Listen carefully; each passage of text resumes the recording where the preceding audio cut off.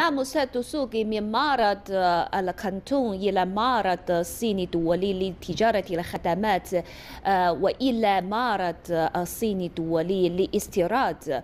شكلت الصين ثلاث منصات رئيسية لانفتاح على العالم.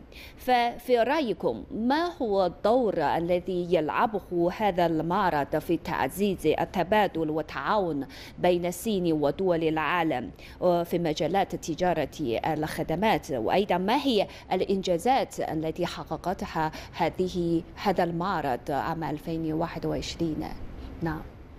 لا شك أن هذا المعرض يطلع بدور كبير وهام في تعزيز التبادل والتعاون بين الصين التي تمثل ثاني أكبر اقتصاد في العالم من جهة وبين دول العالم من جهة أخرى.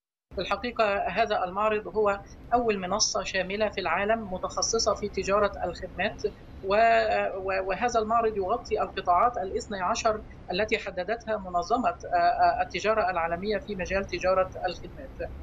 في الحقيقة في العام الماضي عندما تعرضت التجارة العالمية لضربة كبيرة جراء جائحة كوفيد 19 هذا المعرض المعرض لعب دور كبير في تعزيز التجارة العالمية خلال العام الماضي. كذلك أيضا خلال الأشهر السبعة الأولى من هذا العام يعني وصل حجم تجارة الخدمات في الصين إلى أكثر من 2.8 تريليون يوان أي ما يعادل حوالي 434 مليار دولار بزيادة 7.3% على أساس سنوي.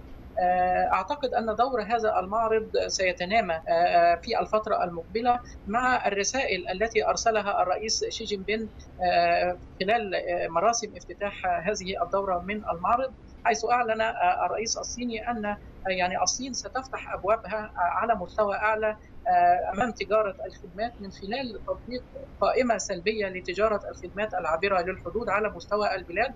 وكذلك أيضا من خلال تطوير مناطق عرض وطنية من أجل التنمية المبتكرة لتجاره الخدمات.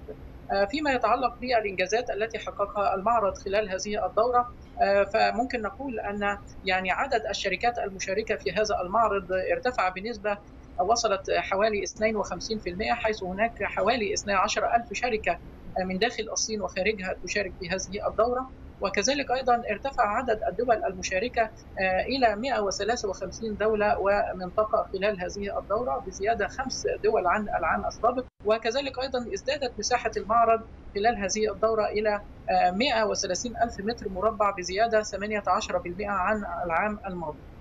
كذلك أيضا لأول مرة في في في المعرض يتم خلال هذه الدورة إنشاء قسم مخصص للخدمات الرقمية وهذا يشير إلى تركيز هذه الدورة من المعرض على يعني الخدمات الرقمية بشكل خاص نظرا للدور الهام الذي تلعبه في ظل تفشي جائحة كوفيد 19 حول العالم.